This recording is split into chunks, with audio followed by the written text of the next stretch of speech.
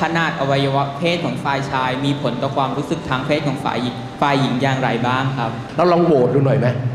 อะน้องๆผู้ชายครับ น้องคิดไหมครับว่าขนาดถ้าเกิดยิ่งใหญ่ ปฏิบัติการยิ่งดีครับ ยกมือสิครับ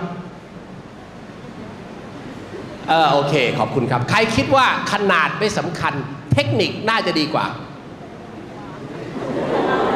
ขอบคุณครับ ใครคิดว่า ขนาดหรือเทคนิคไม่สำคัญ ขอให้เรารักเธอ และเธอเข้าใจว่าเราทำเรื่องนั้น เพราะเรารักเธอ โอเคครับขอบคุณครับ ผมถามน้องผู้หญิงกลับดีกว่าครับสำหรับน้องผู้หญิงครับสำหรับน้องๆนั้น น้องคิดว่าขนาดเทคนิคหรือความรักสำคัญกว่า ใครว่าขนาดสำคัญยกมือสิครับ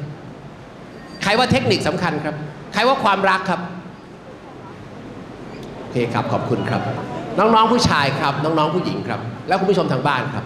นี่คือเรื่องที่โดนถามเป็นประจำคำถามนี้ ผู้ชายจะสนใจว่าขนาดยิ่งใหญ่ ยิ่งทำให้ผู้หญิงมีความสุข เทคนิคในการมีความสัมพันธ์ที่ลึกซึ้งนั้น ถ้าสามารถทำได้ดี ผู้หญิงจะมีความสุข แต่ในความเป็นจริงนั้นครับคุณผู้ชายทั้งหลาย และน้องๆหนุ่มๆผู้หญิงนั้นเขาต้องการความรักจากปฏิบัติการครั้งนั้น แม้ว่าคุณจะปฏิบัติการห่วยแตก รือปฏิบัติการไม่ได้เลือก แต่ถ้าเธอรู้ว่าเธอคุณรักเธอคนเดียว แล้วจะรักเธอตลอดไป เธอก็จะมีความสุขจากปฏิบัติการนั้น เข้าใจไหมครับ